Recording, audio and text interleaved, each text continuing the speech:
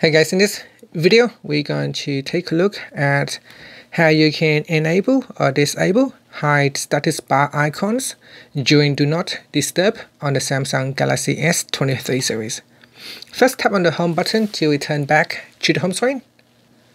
On the home screen, we swipe down at the top to open up quick settings panel. In here, tap on the settings icon. Then we scroll down and tap on notifications. Next, go down and tap on do not disturb and then scroll down to the bottom and tap on hide notifications.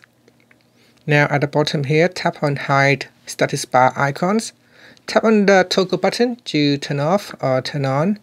When this option is switched on, then the phone will hide the status bar icons during do not disturb so you will not see any status bar icons at the top here. Otherwise you can switch it off which will allow you to see the status icon. And that's it. After you can tap on the home button to return back to the home screen. Thank you for watching this video. Please subscribe to my channel for more videos